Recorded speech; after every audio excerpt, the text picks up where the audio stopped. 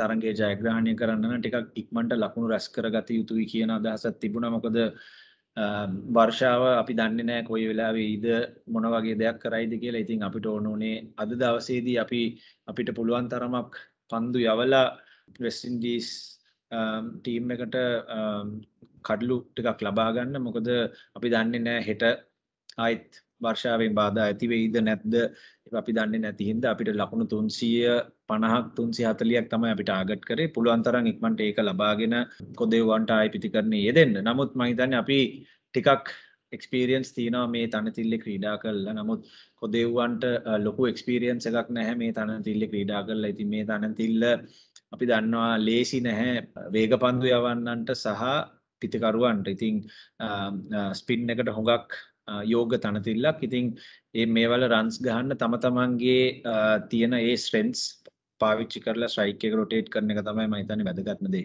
මම හිතන්නේ බෝලේ අලුත් පිට අපේ බෝලර්ස්ලා ඉතා ඉතාමත්ම හොඳට බෝල් කරා. ඒගොල්ලන්ගේ වේරියේෂන් එකක් තමයි එලියට යවන බෝලේ සහ හොඳ තැන්වල බෝල් කරාම අපි දැක්කා ඉතා ලේසි පාසු නෑ විශේෂයෙන්ම පිතිකරුවන්ට. මොකද මේ විකට් එක අනිත් ඒවාට වඩා ලොකු වෙනසක් නැහැ.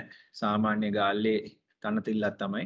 ඉතින් එන්ඩ එන්න අමාරු වෙනවා බැට් කරන්න. ඉතින් අපි ඒක දැනගෙන හිටිය. අපි ඒකයි තුන්සේ පණහදි ඩික්ලෑ කරේ. මොකද වර්ෂාවත් කළු කරගෙන ආවට එකක් ඒක හින්දා ඩිස්කස් කල්ලා අපි ඉක්මන්ට ඩික්ලෑ කරන්න ඕනි කියලා අපි හිතුනා ඉතින් බෝලස්ලා මයිතන්නේ හොඳටම බෝල් කර.